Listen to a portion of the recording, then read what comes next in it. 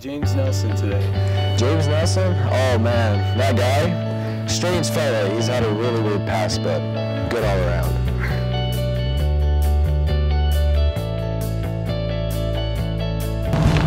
So he comes to our practice and, you know, picks up the football, says, go long. And so I'm like, okay, start running. Start running, looking for the ball. I keep running. I'm like, there's no way this guy can throw that far. You get to about 85 yards, the ball lands right in the bread basket. One day I was just walking around and noticed this random guy sleeping on the school steps. Later on I found out that he's been sleeping on the school steps for years. Also the streets. Well, Jax Lawrence was a, our starting quarterback. He he was a top dog at school and he was a he was a stud. And earlier that week he had a high ankle sprain and he was out for the state championship game that Friday and we had to find a solution fast. So I guess with our star quarterback out, we went up to this homeless guy. I mean, we were pretty desperate. We went up to this homeless guy and we we're like, have you ever thrown a football? And he said no. And we're like, okay, well, why don't you come give it a try?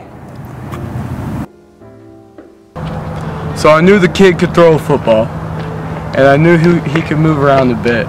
But, you know, I'd say he was a bit on the scrawny side. You know, the real question was, could he take a hit?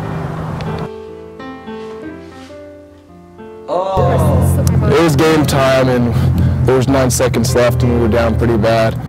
But that's when James remembered his past. Well, I hadn't seen my dad Tom Brady in a while, and I I came out to Utah. I was trying to find some work, and I was really un unlucky. So I've just been sleeping out here on the bleachers. I was I was feeding on the seagulls by throwing rocks at them from over 800 yards. With rocks, I'd throw at them and I'd and eat them, and then and then I'd live off sprinkler water, and that's how I survived. This guy can hit a rat's eye 100 yards away with a freaking pebble. How could we lose?